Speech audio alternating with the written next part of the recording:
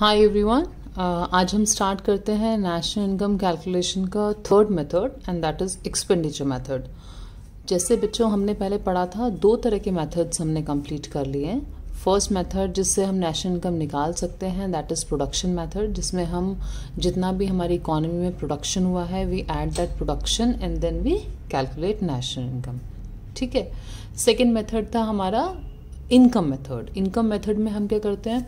कि जितनी भी हमारी इकोनॉमी में टोटल इनकम हुई है to all the factor of production चाहे वो लैंड लेबर एंटरप्रेन्योरशिप या कैपिटल किसी भी फॉर्म में किसी को हुई हो, कि चाहे उनको रेंट मिला है, चाहे उनको प्रॉफिट मिला है, चाहे उनको इंटरेस्ट मिला है, या सैलरी ऑफ़ वेजेस तो इसी तरह की इनकम किसी आदमी को होती है तो इकोनॉमी में हम वो सारी इनकम को ऐड कर लेते हैं इनकम मेथड के अंदर।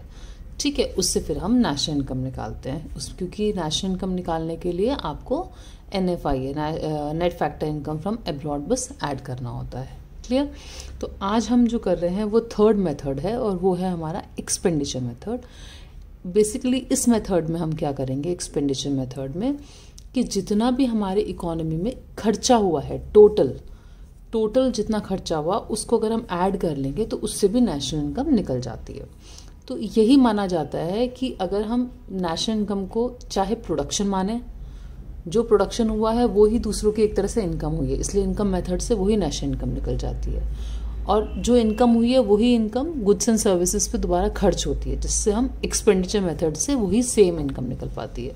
तो ये तीनों मेथड्स जो हैं सेम चीज़ आपकी कैलकुलेट करते हैं। इसलिए आपको जो इनका आंसर आएगा, अगर आपको क्वेश्चंस आएँगे, जिसमें ये तीनों मेथड्स के कंबाइंड होंगे तो आपका सारे आंसर्स इक्वल होंगे, चाहे वो प्रोडक्शन मेथड हो, चाहे आपका इनकम मेथड या फिर एक्सपेंडिचर मेथड क्लियर तो दो methods we have already completed now this is our third method and that name is expenditure method तो ये भी बहुत सिंपल मेथड है और ऐसा कोई मुश्किल कुछ नहीं है। आप इजीली इस वीडियो को पूरा देखें और you can easily understand the concept और आराम से कैलकुलेट कर सकते हैं। Okay okay. Finally, this what is expenditure method? This method measures national income as sum total of final expenditures incurred by household, firm, government and foreigners. हम ये मान कर चलते हैं कि अगर हमें नेशनल इनकम निकालनी है या टोटल इनकम निकालनी है तो हमारी इकोनॉमी में कैसे कैसे खर्चे होते हैं जो खर्चा एक हाउस होल्ड करता है चार हमारे सेक्टर्स हैं इकोनॉमी में आपको पता है यही चार हैं household firm government and rest of the world जिसको हम फॉरनर्स बोल सकते हैं। इन्हीं चारों लोगों के खर्चे होते हैं। तो इन्हीं चारों के खर्चों को अगर हम टोटल कर दें देन वी विल गेट आपकी national income clear final goods goods पे जितना वो खर्च करते हैं। ठीक है? तो आप इन चारों के फाइनल एक्सपेंडिचर्स को ऐड कर देंगे you will get G D P M P अब इस मेथड का दूसरा नाम एक और भी है इनकम डिस्पोजल मेथड ठीक है, अगर by chance by chance exam में अगर आपका एक्सपेंडिचर मेथड की जगह ये नाम लिखा हुआ आ जाए इनकम डिस्पोजेबल मेथड तो ये आपको मतलब ध्यान रखना है दिस इज़ एक्सपेंडिचर मेथड कि इनकम को कहाँ कहाँ खर्च किया गया, वो वाला मेथड है। ठीक है तो आप जब इन चारों सेक्टर्स के एक्सपेंडिचर को you will add you will get G D P M P और G D P M P से कैसे आपको जाना है नेशनल इनकम पे दैट इज़ वेरी इजी कि G D P M P में अगर हम ऐड कर दें डिप्रिसिएशन तो हमारा क्या आ जाएगा? एनडीपी हमें नेशनल इनकम क्या होती है हमारी? National income is N N P F C ठीक है? तो जीडीपी में डिप्रिसिएशन किया तो जी का मेरा एन आ गया। अब मुझे अगर डीपी का एन पी आना है तो मैं एन एफ़ आई ऐड कर दूँगी। और एम पी से एफ़ सी पे जाना है then I will subtract N I T then I get factor income तो ये सब चीज़ें अगर मैंने जीडीपी में कर दी I will get what N N P F C and that is my national income clear अब ये एक्सपेंडिचर मेथड को आप कैसे कैलकुलेट करते हैं, वो अब हम करेंगे ओके ओके बच्चे, अब देखो फाइनल एक्सपेंडिचर के अंदर क्या क्या चीज़ें जैसे हम हाउस होल्ड फॉर्म और आपका हाउस होल्ड फॉर्म गवर्नमेंट और रेस्ट ऑफ़ द वर्ल्ड यानी फॉरनर्स का खर्चा लेते हैं तो उसी तरह मैंने वन टू थ्री फोर आपका ऐड कर दिया है, ठीक है? तो नंबर वन होता है, एक हाउस होल्ड का खर्चा क्या होता है? जिसका एक नाम दिया हुआ है, जिसको बोलते हैं प्राइवेट फाइनल कंजम्पशन एक्सपेंडिचर यानी पर्सनल लोगों का जो भी खर्चा इंसान ने किया, हमने, आपने, सबने जो मिलके खर्चा किया, पूरे साल में गुड्स एंड सर्विसेज़ पे, वो इसके अंदर आएगा।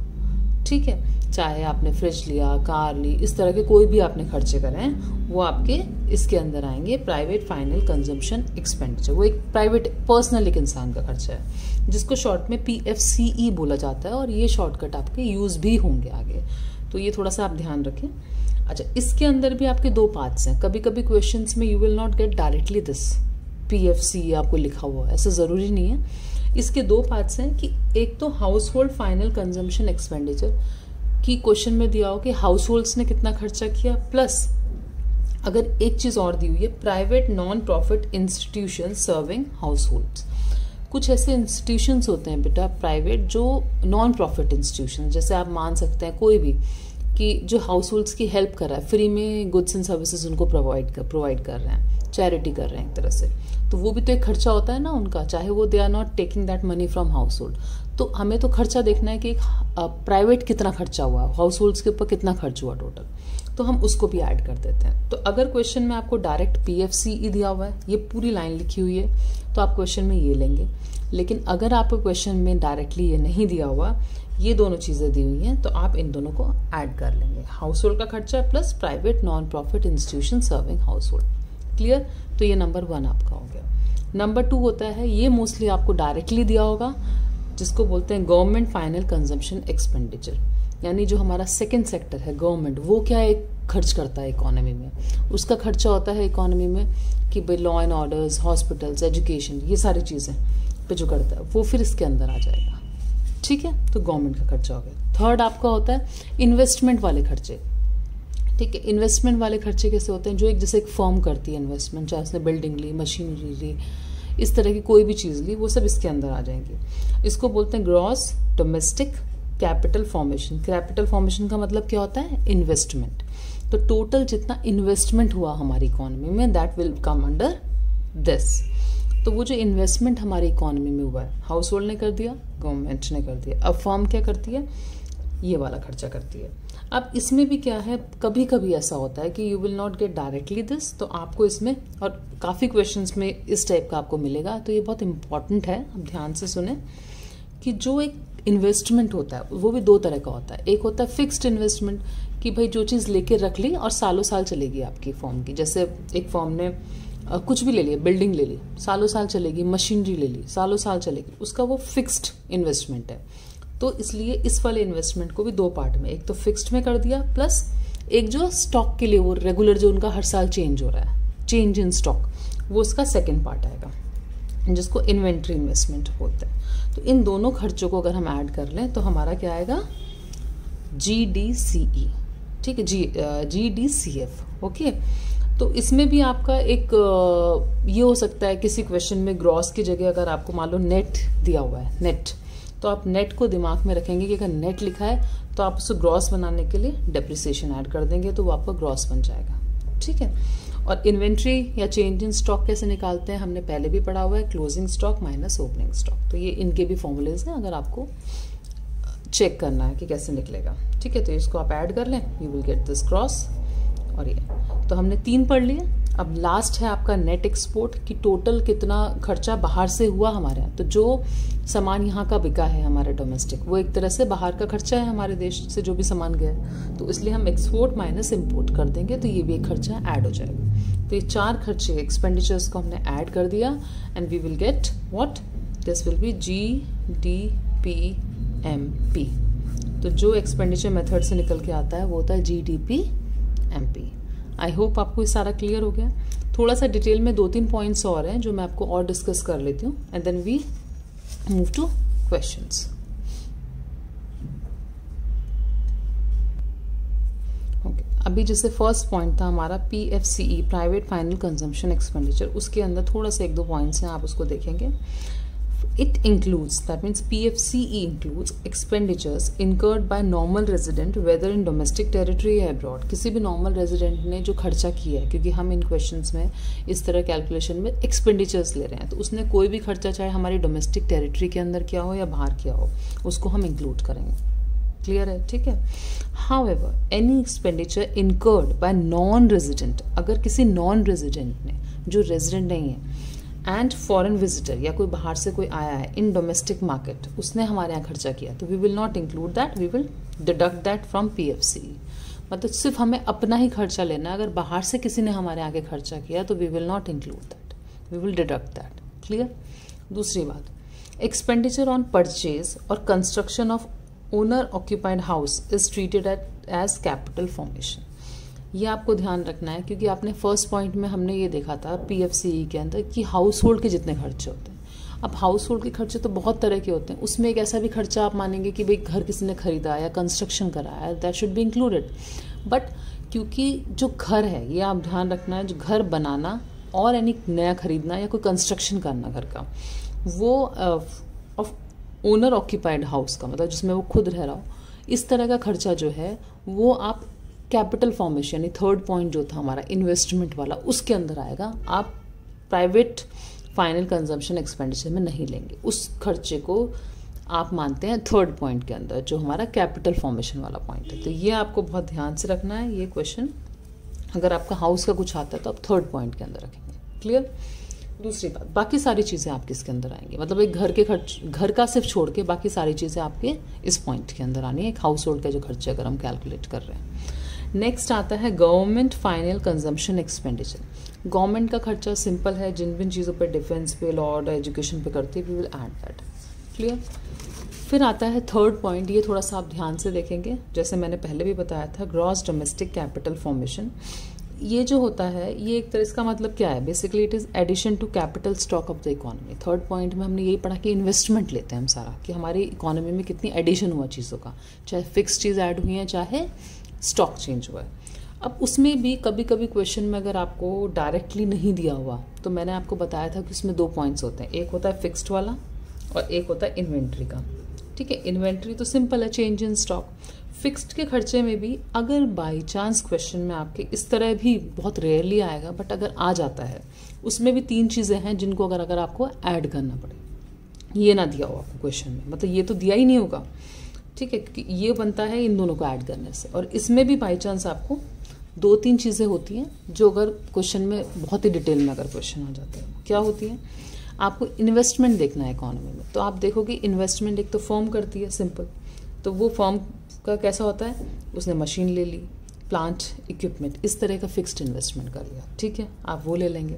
अगर मान लो हमने बोला था हाउस की बात करी थी कि किसी ने कंस्ट्रक्शन या नया घर लिया है तो वो भी इसके अंदर आएगा हाउस होल्ड का। तो ये भी आ गया इसके अंदर परचेज और कंस्ट्रक्शन ऑफ़ न्यू हाउस वो भी इस फिक्स्ड कैपिटल फॉर्मेशन में आएगा। एंड नंबर थ्री गवर्नमेंट जो फ्लाईओवर्स बना रही है रोड्स या ब्रिजेस बड़े खर्चे जो कर रही है रेगुलर वाले नहीं, बड़े खर्चे जो करती है, जैसे फ्लाईओवर रोड्स ब्रिजेस ये भी एक इन्वेस्टमेंट होता है गवर्नमेंट का, वो भी इसके अंदर आता है। तो बाई चांस अगर आपको नहीं दिया होता है तो आप इनमें से ये चीज़ें आपको दी होंगी, आप इनको ऐड कर लेना you will get fixed capital formation और फिक्स्ड के अंदर अगर आप inventory change in stock add कर लेंगे तो आपका ग्रॉस डोमेस्टिक कैपिटल फॉर्मेशन ये मैंने आपको बहुत डिटेल वाली चीज़ बताई है। इतना क्वेश्चन में नहीं आएगा बट स्टिल आ जाता है तो आपको ये ध्यान में रखना है। ठीक है? और नंबर फोर जो हम पहले ही पढ़ चुके हैं नेट एक्सपोर्ट क्या होता है? Difference between export and import export by foreigners on purchase of domestic product जो फॉरनर्स हमारे प्रोडक्ट पे खर्च कर रहे हैं और import expenditure by resident on foreign products जो हम खर्च कर रहे हैं दूसरे प्रोडक्ट्स पे, वो हमारा इम्पोर्ट है। तो इन दोनों को सब्ट्रैक्ट कर लोगे you will get net export clear अब हम क्वेश्चंस पे मूव करते हैं। आई होप आपको बहुत अच्छे से क्लियर हो गया हो और मैं, मैंने, जो मुझे लगता है I have not left any point ठीक है? तो सब कुछ इसके अंदर कवर कर दिया। बस हम डायरेक्टली अब क्वेश्चंस करते हैं। ओके ओके अब जो हमारा फ़र्स्ट क्वेश्चन आता है that is calculate G D P M P आपको निकालना है क्वेश्चन में G D P M P ये सबसे बेसिक क्वेश्चन है। इसके अंदर आपकी सब चीज़ें डायरेक्टली दी हुई हैं। तो ये हम क्वेश्चन करते हैं। तो सॉल्यूशन अब आप सबसे पहले देखेंगे जो हमारा एक्सपेंडिचर मेथड से निकल के आता है, उसको बोलते हैं हम G D P M P ठीक है? उसके अंदर पहला पॉइंट क्या होता है? पी एफ़ सी ई यानी प्राइवेट का जो हम देखते हैं। प्लस फिर हम देखते हैं गवर्नमेंट का। ठीक है? G F C C E expenditure government का।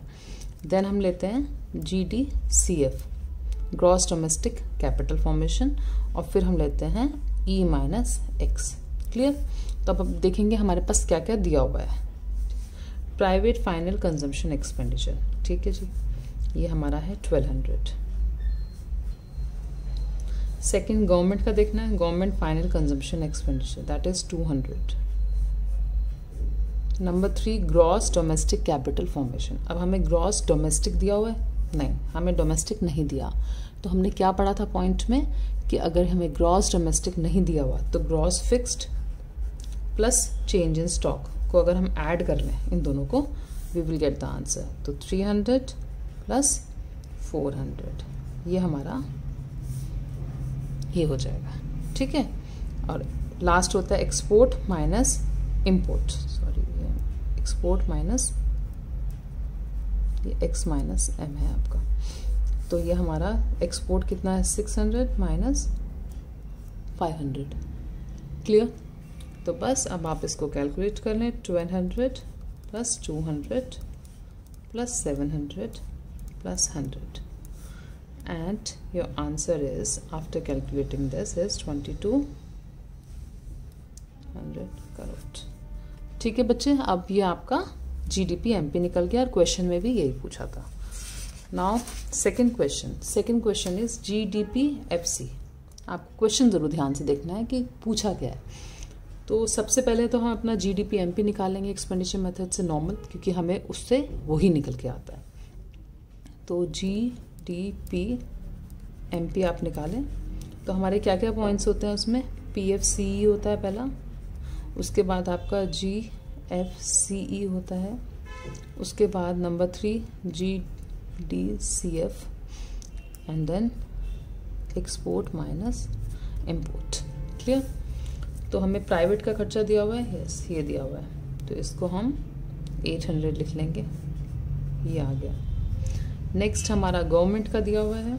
Government final consumption expenditure this is 450 clear ये भी हो गया। अब हमारा ग्रॉस डोमेस्टिक कैपिटल फॉर्मेशन दिया, आप देखेंगे? नहीं डायरेक्ट हमें नहीं दिया।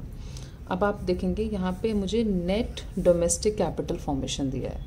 मैंने आपको बोला था, क्योंकि आपको ग्रॉस लेना होता है क्वेश्चन में तो आप डेप्रिसिएशन अगर उसके अंदर ऐड कर लेते हैं तो आपका ग्रॉस आ जाएगा। नेट के अंदर आप डेप्रिसिएशन ऐड कर लें यू विल गेट ग्रॉस तो नेट कैपिटल फॉर्मेशन कितना है हमारा? 150 प्लस आप कंजम्पशन ऑफ़ फिक्स कैपिटल को डेप्रिसिएशन ही बोलते हैं तो ये आपका 50 आ गया।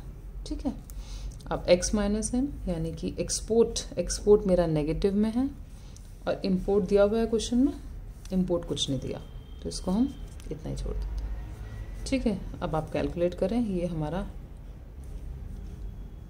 1250 आया प्लस 200 और ये हमारा आ गया minus 30 this will be 1450 then minus 30 and 1420 करो। This is your GDP MP अब क्योंकि हमें क्वेश्चन में G D P F C निकालना है तो आप G D P M P plus क्या करेंगे? भाई, बाकी सब तो सेम है। बस मुझे एम पी से एफ़ सी करना है। That means I need to subtract N I T clear तो ये मेरा कितना है? फोर्टीन ट्वेंटी माइनस कर दूँगी N I T N I T दिया हुआ है क्वेश्चन में वन ट्वेंटी ठीक है? तो मेरा क्या आंसर आ गया इसको माइनस करने के बाद? I get thirteen hundred crore clear ये आपका G D P F C हो सकता है एक दो चीज़ें क्वेश्चन में एक्स्ट्रा दी हों, पर आपको वो कुछ उनमें कैलकुलेशन में इंक्लूड नहीं करना है, जो आपसे क्वेश्चन में पूछा है आप सिर्फ़ वही इंक्लूड करेंगे। जैसे इस क्वेश्चन में एन हमें दिया तो हमें एन की ज़रूरत ही नहीं है। अगर हमें हाँ यहाँ पे पी बोला होता, हमें डोमेस्टिक प्रोडक्ट को नेशनल प्रोडक्ट बनाना होता तो हम उसको यूज़ करते। ठीक है? तो कुछ चीज़ें हमें क्वेश्चन में एक्स्ट्रा दी होती हैं just to make you confuse clear अब हम लास्ट क्वेश्चन करते हैं नंबर थ्री ओके okay, बेटा लास्ट क्वेश्चन है आपका। इसमें कैलकुलेट करना है ग्रॉस फिक्स्ड कैपिटल फॉर्मेशन अब अब ध्यान रखेंगे इसमें पूछा क्या है? ग्रॉस फिक्स्ड कैपिटल फॉर्मेशन और बाकी चीज़ें हमें दी हुई हैं। इसमें देखो आप हमें G D P M P दिया हुआ है। ठीक है? तो इसका हम सॉल्यूशन करते हैं। तो अब आप देखोगे G D P M P हमारा क्या होता है? मैं आपको बहुत सिंपलेस्ट वे में करती हूँ हो सकता है आपको लगेगा इतनी कैलकुलेशन इतना छोटा छोटा क्यों दिखा रही बट जस्ट आप लोगों को ज़्यादा सिंपल तरीके से समझ में आए जिससे किसी को कोई डाउट ना रहे इसलिए मैं इस तरह क्वेश्चंस को करती हूँ ठीक है? तो आपका पी एफ़ सी ई पहला private fixed P F C E जो है आपका प्राइवेट uh, का जो कैपिटल एक्सपेंडिचर है वो आ गया देन सेकेंड आपका गवर्नमेंट वाला आएगा गवर्नमेंट का आ गया देन थर्ड होता है आपका ग्रॉस डोमेस्टिक कैपिटल फॉर्मेशन और उसके बाद ये होता है। ठीक है तो G D P M P हमें क्वेश्चन में दिया हुआ है।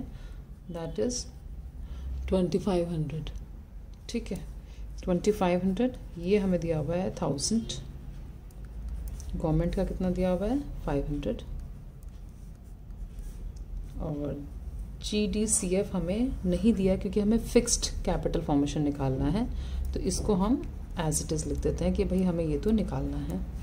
Plus export minus import net export हमें माइनस फिफ्टी दिया हुआ है। निकाल, निकला हुआ है माइनस फिफ्टी ठीक है तो हमें माइनस नहीं करना अब आप बस इसको कैलकुलेट करिए। This is fifteen hundred plus G D C F और ये माइनस फिफ्टी और ये आपका twenty five hundred minus fifteen hundred plus fifty ठीक है, ये आपका हो गया। और इसको आप कैलकुलेट करेंगे तो आपका आ गया। ठीक है, ये आपका आ गया। जी डी सी एफ़ यानी ये निकल के हमारा आ गया।